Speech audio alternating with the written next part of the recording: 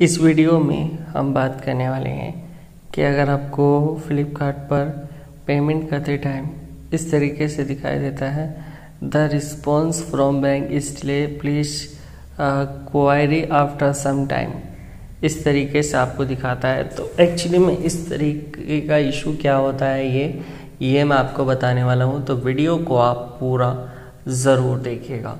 देखिए, ये इशू आता क्यों है? और इसका क्या सल्यूशन है, ये मैं आपको बताने वाला हूँ। तो ध्यान से आप इस वीडियो को ज़रूर देखिएगा।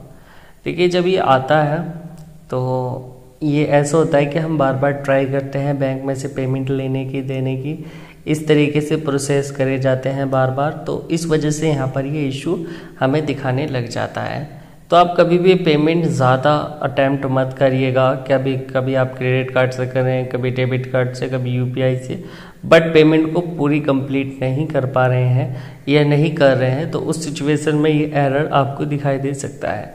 एंड दूसरा, अगर आपका जो बैंक है, वो पेमेंट करने में असमर्थ होता है, इस टाइम में उसका सर्वर वगैरह डाउन होता है तो तब भी ये दिखा देता है। एंड तीसरी कंडीशन अगर फ्लिपकार्ट के अंदर ही इशू चल रहा होगा तो आप यहाँ पर प्ले स्टोर पर जाइए और फ्लिपकार्ट को यहाँ से अपडेट कर लीजिए, ठीक है?